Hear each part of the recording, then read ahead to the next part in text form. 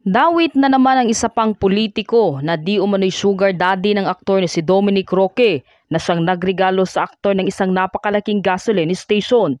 Narito ang buong detalye. Ngunit bago tayo magpatuloy, huwag kalimutang i-like, share, subscribe, and click the notification bell for more updates and for more upcoming videos. Maraming salamat! Hanggang ngayon ay mainit pa ring pinag-uusapan ng tunay na dahilan sa hiwalayan ng engaged couple na sina Bea Alonso at Dominic Roque. Isa na rito ang di umano'y questionable na marangyang pamumuhay ng dating aktor na nakatira sa isang pangmayaman na condo unit na maski umano artista ay malabong makatira dito. Marami na rin ang pangalan na nauugnay sa kanilang hiwalayan, kabilang na dito ang mga kilalang personalidad at mga politiko. Sa Facebook post na ibinahagi ng pambansang marites ng Pilipinas na si Cyan Gaza, ay pinangalanan niya na si Congressman Bong Suntay ang di umano'y nakarelasyon ni Dominic na kabilang sa politiko na siya rin umano ang nagbigay sa dating aktor ng isang malaking gasoline station. Mabilis na nag-viral ang nasabing post at inulan ng samot-saring reaksyon. Dito ay pinasinungilingan ito ng kampo ni Congressman Bong Suntay. Christian Albert Gaza is now a new endorser of Clean Fuel. Pabiro pang sabi nito. Para malinaw sa lahat kasi close comment section mo, post ko na lang.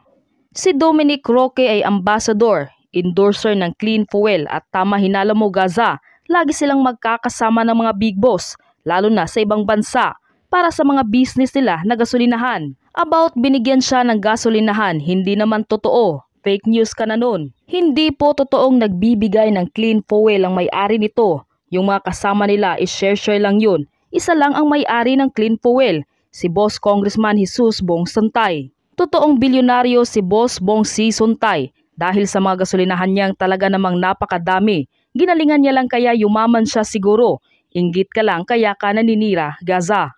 Sa susunod Christian Gaza, galingan mo chismis. Maniniwala pa ako kung ng babae boss ko. At para na din po matigil na ang agam-agam ng District 4, free to QA, sasagutin ko na lang.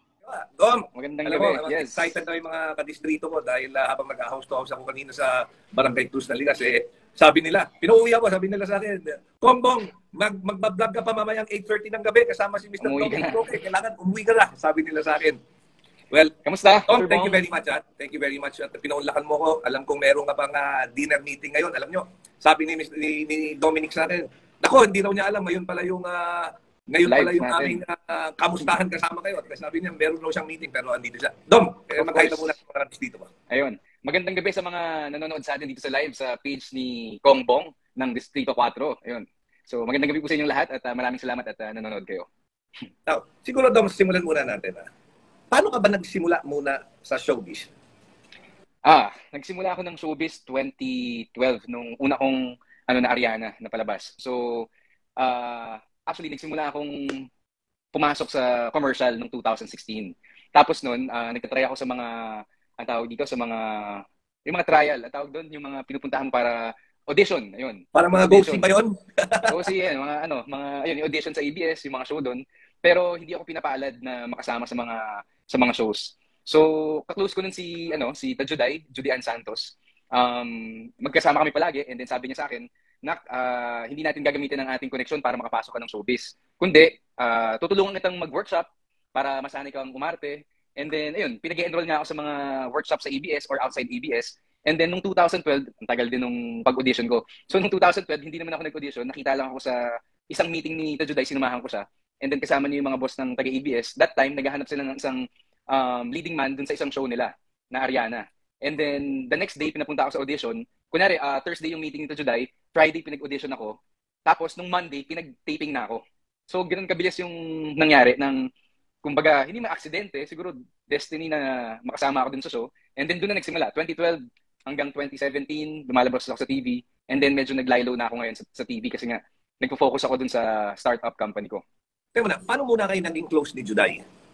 Ah, si Tita Judy kasi, best friend siya ng tita ko na si Beth Tamayo. So, ayun. Um, O yun, naalala ko si Tita Beth mo pa. Dahil Mm. naalala ko nung na, nasa San Francisco tayo, na-meet natin Yes, si... pinuntahan Oo. natin siya. Crush na crush ko yun nung, ah, nung bata ako. Ay, naglalaro ng ano yun eh. Nakikita ko siya naglalaro ng Badminton. Sentro Kasama- eh. Sentro, Mr. Bong. amin eh. Hindi pa tayo magkakilala noon, pero lagi niya akong kasama sa sentro. Naglalaro din ako ng badminton dun sa sentro. Okay. So nasabi mo, nasama ka doon sa Ariana. Ano, ano naman yung role mo doon sa Ariana? Um, leading man nung leading lady doon, parang second leading man. And then nagtuloy-tuloy, naging hit yung teleserye, uh, tumagal din ng mahigit isang taon. Tapos nagsunod-sunod na yung ginagawa kong teleserye, tumatalon-talon na sa ibang shows. So, ayun. Pero ngayon nga kasi parang um, nagpo-focus ako ngayon sa ginawa kong negosyo na digital marketing, social media management. So, doon ako nakafocus ngayon for long term. Pero, Pero hindi, hindi- man, Hindi mo ba nami-miss yung acting? Dahil siyempre, matagal ka na, matagal mo na ginagawa yan. At siyempre, yung uh, Hmm. pag-model, hindi mo ba nami-miss yung mga bagay na yun? ako naman, namimiss ko rin naman siguro yung pag-acting. Pero yung focus ko ngayon is yung, ah ayun, yung trabaho ko pa rin, nasa ah, social media. So, pagiging influencer also, endorser. Pero yung pag-acting, um, hindi ko naman kino-close yung doors ko sa pag-arte. Pero siguro, ipo, uh, ko muna yung, pag na-establish ko na ng maganda yung negosyo ginagawa ko yan for long term nga, um, pwede na ako tumanggap siguro ng mga pang-TV ulit. Pero sa ngayon, um, hindi muna. Hindi muna ako aarte siguro. Arte ko na lang yung mga nasa Instagram. Pero ano, that's very commendable ah. Dahil ah, importante rin eh. Mga ba't na alam ko na you have started your career sa acting, napaka-importante rin eh. Yung na you also uh, have fallback eh. Yun na yung, yung, yung, yung, yung hanap buhay, yung negosyo. That's, uh, di ba napaka-importante para sa isang tao. Dahil Siyempre, gusto mo, as you grow old, meron kang ano eh, meron kang laging, ah, yung sinasabi nilang hindi mo nilalagay lahat ng itlog sa isang basket. Kailangan Mm, meron kang ah, iba't ibang ah, bagay na pinagkukunan. Yes, Oo. oo. Um, siguro, Mr. Bong, sa tagal na rin natin magkaibigan, siguro nine years na tayong magkaibigan, marami na rin akong napulot sa'yo eh. Kasi napulot na mga ideas, na mga aral, lalo na sa negosyo, sa pamilya, sa relasyon. Kasi di ba, tuwing mag-ibang bansa tayo o nandito tayo sa Manila, mag-ride tayo ng motor, pinagtatanungan kita, naalala mo, kunwari sa relationship, tatanungin kita na, may ganito ba tayo? Paano ba pag ganito yung nangyayari sa partner mo? Ano ba yung mga dapat gawin? So, natututo rin ako. Katulad din sa negosyo, marami rin akong natutunan sa'yo, lalo na nakita ko naman na successful yung mga business na sinimulan mo hanggang ngayon naman talaga naman yung clean fuel natin ah umaangat, di ba? At ah, nakita ko rin na marami kang natutulungan. Hindi yung pang sarili yung uh, tawag dito, inatupag mo, kundi may malasakit ka rin sa ibang tao, siyempre. O, hindi kasi, ano mo, very important yan eh. Kagaya ko, nung bata ako, ah, talagang nahilig ako sa public service. Sabi ko, Mm. pagka, pagkatanda ko, ah, gusto ko pumasok sa public service. Pero ayoko pumasok lang na basta-basta papasok. Eh, hindi porkit mag, magkasing pogi tayo, eh, yun lang ang magiging puhunan. So sabi ko, hindi, kailangan handa ako, papasok ako. Gusto ko, doon ako sa legislation. So sabi ko, mag, mag-aaral ako, mag-aabogado ako. And then nung naging abogado ako, sabi ko, hindi hindi sapat pala eh, na hindi pwedeng maging hanap buhay yung public service. So, Mhm. hindi pwedeng hanap buhay yung, ah, yung elected position mo. Kailangan meron ka rin pagkukunan ng ibang ah, Ng iba. ng ng oo ng ah, ibang ah, gagamitin mo pang gastos. So hindi pwedeng ah, ano lang eh yung ah, politika. eh. So at sa time na I also started yung business, taking care of it and uh, pinalaki ko yan para sabi ko ah pwede mong pagsabayin na Mm. ah, yung bubuhay bu- yung gagamitin ko para buhayin yung pamilya ko, siyempre galing sa hanap buhay. And then yung Yes. yung ano naman yung funds ng opisina ko. Then lahat yan ibubuhos mo pantulong sa tao, Mm. mm. distrito mo. And now, I'm very happy you're doing the same thing. O, pero nag- nag-hi si Kagawan Eugene Macandong. Naka, nanonood siya si Kagawan Eugene. Hindi ko parang San Isidro yan. Alam mo, birthday niya ngayon eh. Happy birthday. Happy Kagawan birthday. Eugene. Ayan. Happy birthday, Kagawad. Ayun. Ngayon, ang pangalawang uh, dapat natin pag-usapan. Uh, Dok, malapit na ang Yes. Feb 14. Siyempre, ang Feb 14, uh, Valentine's Day yan. Oo. Mm. Meron ka bang plinano para itong Valentine's Day ito? Um, actually, uh, mag-out of town kami ni Bea uh, itong parating na weekend. At uh, kailangan namin siguro ngayon ng alone time together. So, ngayon lang ulit kami makakapag out of town. Long time na naman. Naalala ko, parang dalawang buwan yata kayo sa Amerika. Hindi pa ba? Hindi, hindi na. Hindi. Yung doon naman sa ano sa America last year, um, ayun, mag magkasama kami ng 26 days o 28 days. Um, Siyempre, ang sarap ng feeling na magkasama kami at uh, mas nakilala namin yung isa't isa that time. Tapos, na-meet din ni Bea, yung tita ko, na si Beth kasi pinuntahan namin siya sa San Francisco. And then, na-meet niya rin yung mga ibang friends ko. So, this time, pag uh, nag-out of town kami, kami dalawa lang talaga. So, ayun. So, saan naman ang planong out of town nyo? Sa Pilipinas lang ba yan? O Pilipinas lang. Sa Pilipinas lang din. Oo, magbe-beach lang kami somewhere. Pareho ba kayo ni Bea? Beach person ba kayo o mountain person? Um, actually, talagang mahilig kami magpunta sa beach. And then ako, hilig ko din talaga yung nature. Yun nga eh, um, actually, uh, kinukumpuno ko yung yung pick-up truck ko ngayon ng gagawin kong pang-camping para makapag makapunta sa mga campsite sa dito sa Pilipinas lang din. Sa ikot-ikot kami para nature tripping, kumbaga. Paano kayo ano? Paano kayo nagkakilala ni Bea? Um, nagkakilala kami ni Bea nung 2016.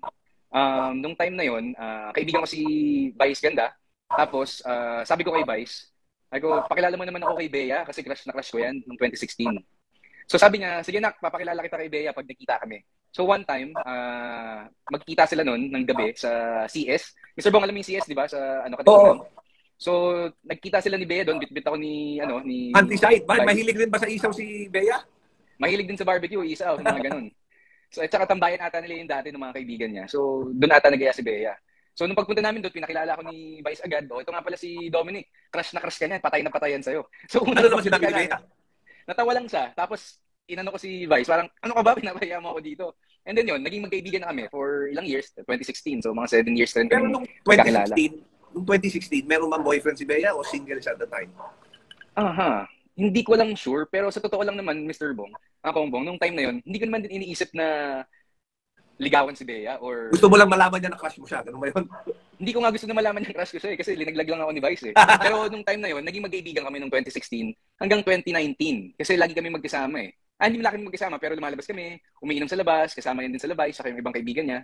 Tapos sa showbiz, tapos nagkakamustahan lang kami. Pero ang akin, talagang friends lang yung habol ko kasi nung time na yun, nag-iisip ako, parang imposible naman atang ligawan ko to o maging girlfriend ko to kasi Bakit naman parang imposible? Eh, magandang lalaki ka naman. Kapag kasing gandang Hindi. lalaki tayo, mabait ka rin Kasi- naman. Parang ako. Bakit imposible? Hindi, kasi Bea yun eh. Bea, nung time na yun, 2016, parang wala. Parang, ano na siya eh, prime Masyado mataas artist, may masyadong mataas siya, parang oo. Kahit naman nung 2019 na magkasama kami, hindi ko rin naman akalain na, ah, ayun. Kasi nung time din nung 2016, Mr. Bong, may girlfriend din ako noon, long time girlfriend ko. Tapos, um, alam din ni Bea kung ano yung pinagdaanan namin, alam niya kung sino yung taong yun. So, talagang nung magkasama kami, friends lang din talaga. Eh, nag-bake lang naman kami nung ex-girlfriend ko 2019. So, nasaktong single siya, nasaktong single din ako. So, lumalabas-labas kami that time. Ayun. Pero alam mo, sinasabi mong naaalangan ka, naligawan si Bea dahil masyado na, at the time, siguro sikat na sikat na si Bea. Pero, eh, wala, ilang beses ko na rin nakasama si Bea and, and si Bea is very down-to-earth. Napakabait ni Mm, mm. Bea. Parang hindi naman Actually. siya may, ma, mairap uh, abutin dahil uh, very ano siya eh, yung, uh, yun nga, very down-to-earth. Alter, madaling kausapin. Oo. Mm-hmm.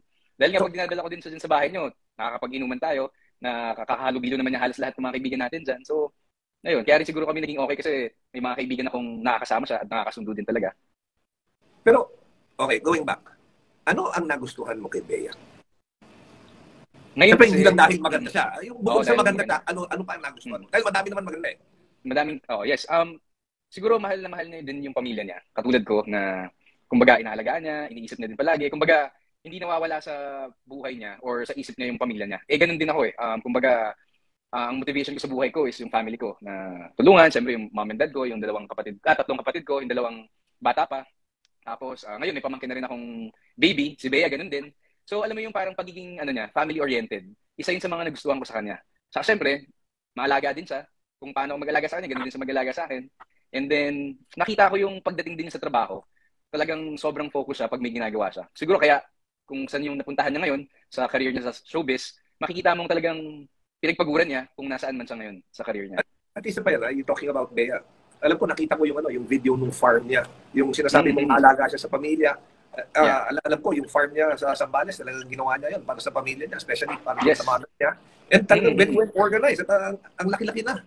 Oo. Mm. Um, nakita actually, ang tagal na niyang nabili yun, para mga 10 years ago. So, pinag-usapan nila ng mom niya. Tapos, dinevelop niya maigi nung nagkaroon ng pandemic. Kasi, nung 2020, syempre, nung time nung kaputukan ng pandemic, nag-aalala siya sa family niya.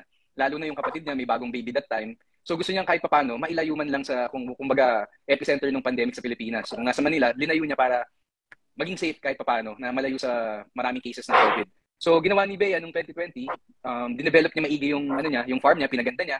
Kasi nakita din niya yung pwedeng maging ah, gamit nung farm niya. Kasi syempre, pag nandun ka, ah, presko yung hangin, tapos ah, dami nilang hayop doon, ang ganda ng mga puno. So, ayun, talagang nag-invest sila dun sa farm niya. Oh. So, going back, so sa Feb 14, plano yung mag, ah, mag out of Mag-beach. town. Yes. Oo. Ilang years na ba kayo together? Ah, actually, kaka first year anniversary lang namin ni Bea, ah, officially, nung July 28.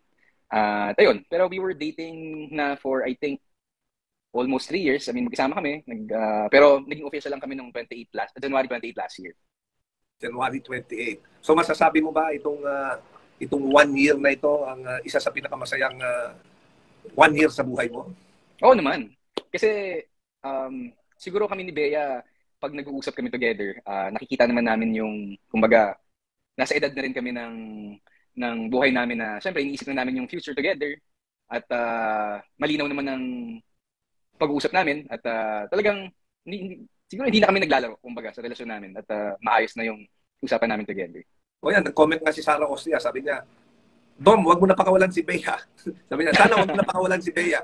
Oo nga, Dom, eh palagay ko naman wala namang plano si Dom na pakawalan si Bea dahil sabi ko Wala nga, naman. bukod sa maganda, mabait, Okay eh, pa. masipag, at saka ano siya, may plano for the future. Talaga nga, para sa akin yan yung ano eh, wife material. Eh, alam ko naman White si Dom, material. matagal na tayo Si- nagkikwentuhan na lagi mong ah, sinasabi sa akin na naghahanap ka rin ng, ano, eh, ng forever. Eh. Yes, So- of course. Pwede- sa tingin mo ba si Bea eh, pwedeng pang forever? Um, I think sa pagsasama namin ng ano, yung official naman kami isang taon na para magka, magtatatlong taon na din siguro kami yung magsama na din talaga together. Siguro makikita ko namang may future talaga kami together at ah, makikita ko naman na masaya kami. ah, okay kami, nag na, nagkakasundo naman kami. And ayun, ayun nga, eh, nakita ko yung comment ni Marco at Yensa. Dom, kailan na ba ang kasal? Tama. Meron bang kasal in the future?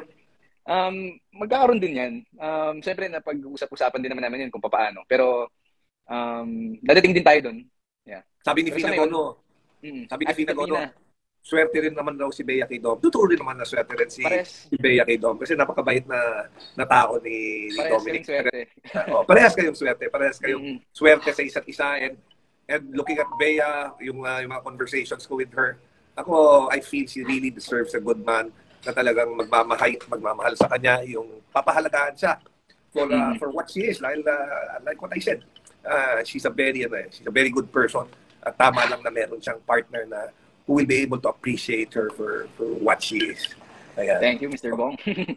So, ah, kagaya ng sinabi mo, ano, ah, ah, ano yan, yung parang nakikita mo naman na may future dyan, may future na meron talaga. Bea Dom na pang forever. Ah, ano ba yan? Meron, meron. Eh, ano naman ang palagay ni Bea? Tatanungin ko. Tatawagin ko. Naiisip ba niya yun? Naiisip rin ba niya yun? Oo naman. Um, hindi ako sumasagot for her, pero um, siguro para sa akin, hindi naman ako mag-stay sa isang relationship kung feeling ko na hindi rin naman sa seryoso sa akin. Kasi, una sa lahat, ah, hindi man ako naghahanap ng parang laro-laro lang na relationship dahil nga, kumbaga, matanda na rin ako. So, sayang yung oras, di ba? So, I think na nasa isang ano naman kami, um, linya together. So, malinaw ang future. Hindi, totoo yan. Ako, ah, alam mo, talagang darating ka sa, sa, ano, sa certain age na ang gusto mo na yung, yung hinahanap mo na yung someone na, ano, eh, na you will grow old with, yung, yung kasama mong tatanda. And malalaman mo pagka yun, yun yung, ano, eh, yung, yung, yung babae o kay lalaki na yan yung para sa'yo pagka nakikita mo yung sarili mo na tatanda ka sa Kasama siya. Mm-hmm. Oo. Kumbaga pag tinitignan Diba? mo sa Kongbong, parang nakikita mo siyang kasama yung anak nyo, nakikita mo kasama niyo yung family mo at family niya na magkasama, di ba? Ayun naman talaga yung importante kung nakikita mo yung future with her. I think may mga conversations din naman kami ni Bay na future yung pinag-uusapan namin. Lalo na sa kids kasi ako, mahilig ako sa bata, sa mga pamangking ko. Alam mo yun, mahilig ako mag-alaga ng babies. Kasi nga, um, kumbaga, ako, kung tatanungin, gusto ko na rin talaga magkaroon ng anak. Pero dadating din tayo doon. Siguro. Si Bea ba gusto rin mag-anak? gusto rin niya mag-anak. Yeah. Mm. Kasi lalo na si Bea, kung paano ako sa pamangkin ko, ganun din siya kaaliw na aliw sa pamangkin niya. So, so pareho kayong mahilig sa bata. Mm. Ayun. Oo. Eh, tama na nga. Tama naman yan. Sabi ni Lea Garnono, yay, road to kasalan na. Sabi niya. Sabi naman ni. Ami, ang pogi-pogi ni Mr. Dominic Roque. Oo. Ayun, kay hi kay J Love, kanina nakita ko. Ayan. Yun. Tapos si Alice Lolet, hi, Bea Idol, sana forever na kayo ni Dom. Oo, ang dami nagko-comment na, na sana, ano na, na talagang kayong dalawa. Ako naman palagay ko, ano na eh, yung uh, doon na patungo yun. At si Bea rin naman, I believe, naghahanap rin siya ng ano eh, nung kanyang, ah, Seryoso. yung, yung special someone na, na kung kanino rin siya, you know, tatanda, di ba? You always, Mm. we always want someone to, ano, to go home to. Kaya, yes, oo. kaya, And si Mami Shields, oh, Jelly, si Pin, ang gwapo ni Superman. so, syempre, lahat ng couple, lahat ng couple, nag-aaway rin yan. Ano ang madalas yung pag-awayan? um, siguro, nag-aaway kami pag hindi kami nakikita. Ah, Sino ang nagagalit pag hindi kayo nakikita? Siya ba o ikaw? parang parehas kami. Kasi minsan, kunyari last year, may mga times na sobrang busy niya. Tapos may times din na magiging busy ako. So may time talaga na hindi nagtatagpo yung schedule namin. lalo na last year, pokpok siya sa trabaho niya. And then, may mga times sa paglibre siya, hindi naman ako libre. So pag hindi kami nakikita, talagang nagkakainitan kami ng ulo.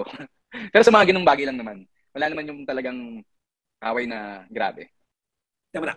One year na kayong together. Dalawang taon na itong ah, pandemya na tumama sa atin. So, ibig pa sabihin nun, eh, pero magkakilala na kayo even before itong COVID pandemic. Tama, di ba? Yes. Mm-hmm. So, can you say na, no, na mas naging close kayo dahil dito nung nangyari yung pandemic. pandemic? Oo. Mm, naman, kasi um, marami nung nagkaroon ng pande. Ah, syempre, nung 2019, ah, yun yung time na magkasama kami sa Japan, nung November. Um, doon kami ah, nagkaroon ng, sabihin nating spark together. Kasi Parang na- nasa Japan rin yata ako noon. Ah. Nasa Japan Yes, din ba ako? oo. nasa Japan kayo na nila, ano, Oo. nila, ang tawag dito, ni Ralph. Tapos yung iba, sila Jordan, nandun kayo. Hindi ko lang kayo nakita. Di ba? Oo. Magkaka-message tayo. Kasi, So doon pa ako kasi naalala ko mini-message kita at na, alam ko at that time eh ayaw mo makipagkita sa amin dahil busy-busy ka ngayon. Alam ko na kung bakit ka busy. Si Bea Hindi pala naman. pinagkakaabala mo ron. gusto ko kayong kitain nung time na yun. Kaso, syempre nahihiya ako kay Bea kasi nung time na yun, para magkasama kami that time, na hindi ko pa, ang dito, bago lang kami magkasama.